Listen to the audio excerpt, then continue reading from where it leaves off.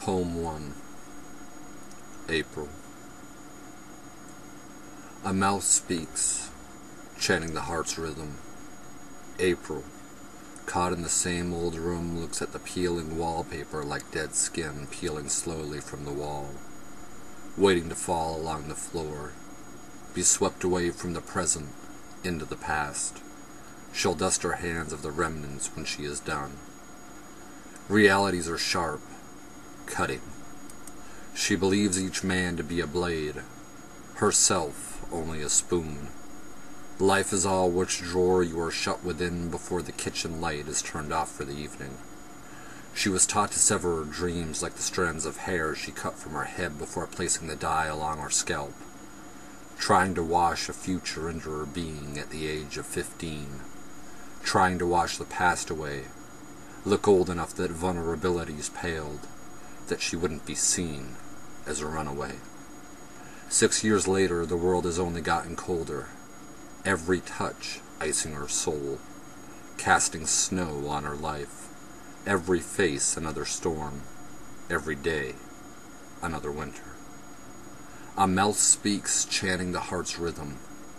Only here where these walls are asking for fresh life, as she is, does she dare to pray. Does belief in anything not seem to be a slap in the face of the truth? She can still feel the sting along the line of her jaw. A mouth speaks, still sculpting a life worth living.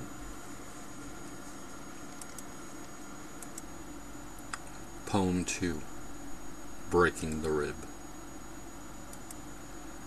She had hung her skin on the door handle, left her muscles along the counter, one by one, placing them in sterile bags, each lettered, numbered. The heart was still pounding in the kitchen sink, water dripping from the tap. We were set to speak, set for the surgery, the invisible cuts, tongues and touches formed into scalpels. I want you to build me again, she said. She had spent a life wiping herself away on city streets, looking for the right set of hands that could fashion her into themselves, give her another birth out of her old life. I had lived understanding the anatomy of the soul, sometimes too much of it, forcing my way back into the light through the dark ages that came to rest their heads like sleeping giants within my dreams, and feeling the sting of many days, many wars unwritten, knew that men and women were often rocks who saw one another as water, breaking against each the other, breaking against to break out, because breaking into through those ribs was just too painful, too much to own. I can't build you. It was simple, foolish.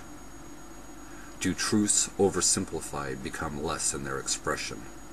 Less because the words cannot fit within a socket, within a palm, do not fit the way they should, like each body part connected by ligaments, tied by understanding the truth of the deeper motions.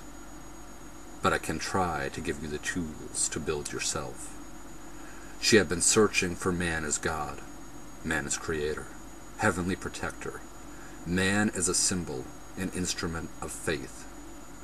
I have been the dream of the dreamer before, something that turned another into a god of their lesser selves, never making one symbol meet the other, instead, extraditing another to be the greater or lesser part of their own wholeness, their own unity.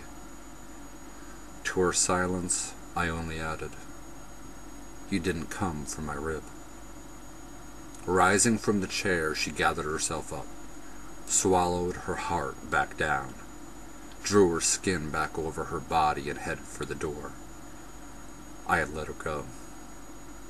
I had come to accept my limitations.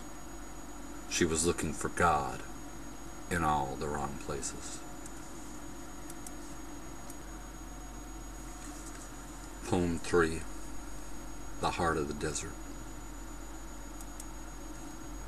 The heart gives way to the desert. Sands crawl through the corners of the mouth, prancing upon the lips. waiting to dry the moisture from the tongue, slowly traveling toward the lungs, into the blood, a hushed song on the lips of the dying.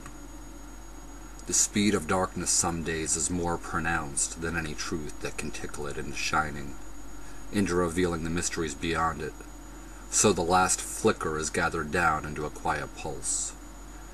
You learn the words to tear roots from the ground eons ago, found their magic passionately reprehensible, and never realized that in owning a power you are still owned, and nothing ever escapes, ever further relates when you limit your vision.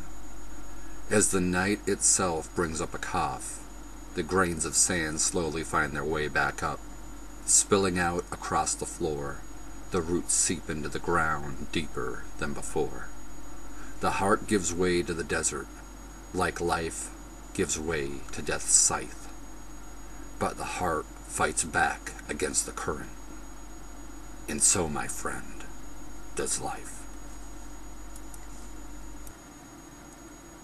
Poem 4 Seasons On mornings like these, when you wake to stare at the face of a clock, only to realize it has its hand around your throat, you learn to regret the smile, the hand that once touched your face, when time soothed you because the dew from each kiss watered the vines, nourished the roots. Now there are only walls where winter has pressed her naked legs around your head and waking to the memory of summer.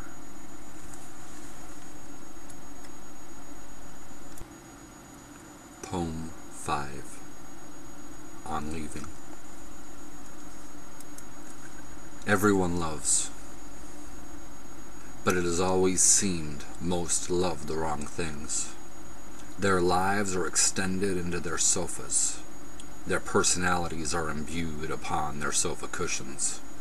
In the theory of rhetoric, they make the lover they want out of the one they have, as a tree is felled, built into a house. This was the cold wind that crept through the window many nights, awakening us to views of the ceiling for we fracture with our ideas of perfection.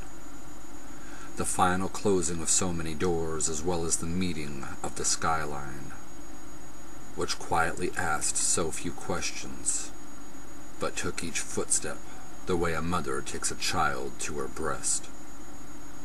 The note on the tabletop will explain. Everyone loves the ideas of their perfection. Their perfection which will always stand between each other.